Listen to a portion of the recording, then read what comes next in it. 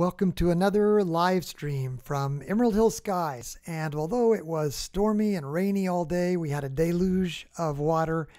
Uh, sure enough, as forecasted, all those clouds rolled away, and in fact, the water cleaned out all the uh, air pollution if there was any. And we've got a crystal clear night here tonight. It's just after midnight. So this is being recorded on, uh, being live streamed rather, on the morning of uh, November 12th, just after midnight. I thought maybe what we ought to do is um, pick up um, uh, a little bit of lore about uh, Betelgeuse. And if you notice here in Stellarium, we're looking at Betelgeuse, and just so you can find the star Betelgeuse, it's here in this constellation Orion. And I think most of us are familiar with seeing these three stars in Orion's belt.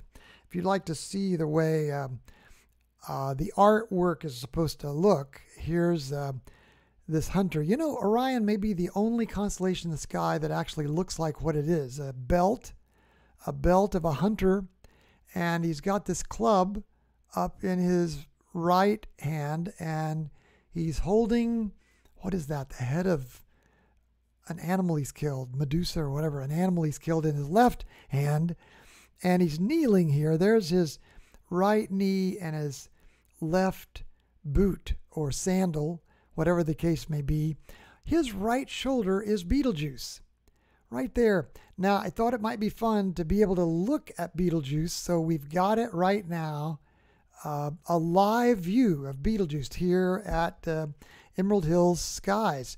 You know, Betelgeuse is a bright star. I think right now it's in the top 10, but in the infrared spectrum, I mean, in the top 10 of visible but in the infrared spectrum, it is the brightest star in the sky. If we could only uh, turn our eyes to be able to see infrared. Um, let's compare some star colors. Let's see if we can find Rigel. So here's Rigel. Let's bring, let me switch you back over to Stellarium. Uh, here's Rigel. Let's bring Rigel to the center. And let's see if when we um, use our see if we can cause our scope to um, to change over to Rigel.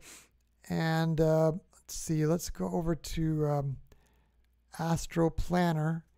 And um, let's just um, do an observation of Rigel. So we'll do um, a lookup by star name. And we'll um, put in Rigel here and search and let's see if we can find Rigel. There it is. And add the selected. So um, there's Rigel. Is that Rigel? Hmm. Yeah, that's Rigel. Let's go. Um, let's slew over to Rigel.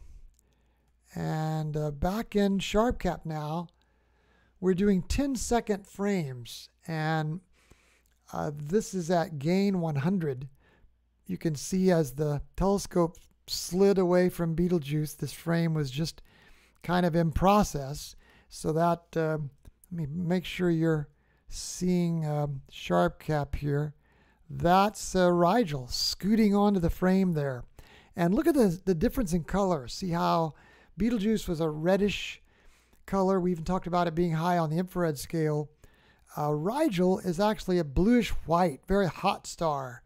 And again, remember, Rigel is also in the constellation Orion. It's just that Rigel is in the lower left sandal of uh, Orion's foot, so to speak, his left foot. Now, right in between those two stars, if you can find Betelgeuse, the right shoulder, and then if you can find uh, Rigel, the left foot, right in between those is a particularly bright star called Alnitak. And Alnitak is the rightmost star in the belt of three. So everybody try to remember that name, Alnitak. And it's interesting because Alnitak happens also to be in a very famous uh, nebula that's called, usually people refer to it as the Horsehead Nebula. So let's find that, the Horsehead Nebula. And one of the ways that is easy to find it is by remembering the name Barnard 3. Now, Barnard was a famous astronomer who um, he wanted to study dark nebula. And whenever you see a, a nebula listed with a B and then a number, that's from his catalog. He, he became famous because he cataloged all the dark nebula. You know, dark nebula, we don't really understand it, but one theory is it's uh, basically a bunch of carbon soot that is just floating in interstellar interstellar space and it's blocking our view of something.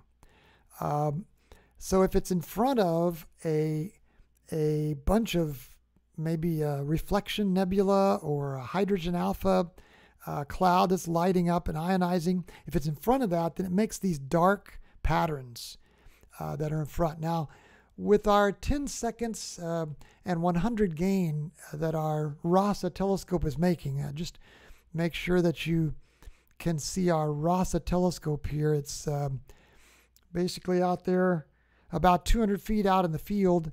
A very, very uh, moist night. I mean, there's so much dew on that scope right now. It probably looks like it's been in a rainstorm. There's so much water on it from the humidity from all those rains that happened today, and now temperature has dropped, and all that rain is on that that humidity is on the outside of the scope. So we're running a lot of uh, dew heater elements, and the camera has a dew heater element built in.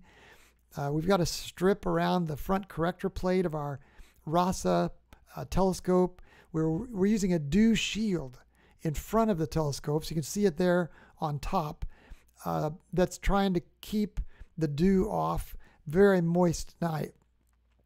But uh, the the dark nebula in front of these uh, these uh, nebula that we're seeing here, you can see it's not showing up at all in SharpCap with this 10 second 100 um, gain. So what we're going to do is let's um, let's do some live stacking. And what we do when we live stack is we we basically tell um, the the software here, our software is called SharpCap, that we're going to um, there you can see it come in with the 10, first 10 second frame.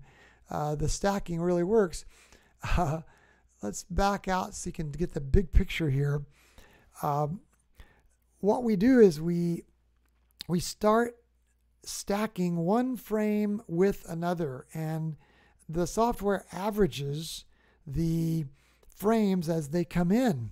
And we have tonight, first time I've ever done this. I've got a friend uh, named Jim from up in Ottawa, and he suggested that we bump up our white balance blue and our white balance red over in the image control panel of SharpCap. And you know, I had never done that before.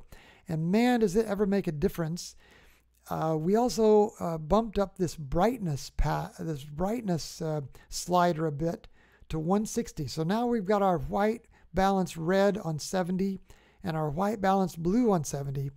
And you know what it does? It finally allows us to do away with this greenish tinge that our Celestron light pollution filter had always made. Um, our all of our images had like a green tint to them, and you can see right now this image doesn't. It, it we are enjoying a good looking image here right away. This is just after 80 seconds. And look at this beautiful horse head that's already coming. I mean, it's not bad looking, is it? That see that horse head that's visible. Well, this horse head is Barnard 33. It's the dark soot in front of that red nebula that's glowing there. And uh, let's see if we can't um, get a picture of that in our over in the Stellarium. The the this is kind of the map of the sky that we're using, kind of like a planetarium would show you on the dome, remember, when you went to the museum? This is like our planetarium view, but it's other software on the computer. Here's that horse head, uh, Barnard 33, but look, it's really in front of IC 434. And that IC 434 is the actual uh, hydrogen alpha ionizing cloud that's probably being uh, charged by the light from Alnitak.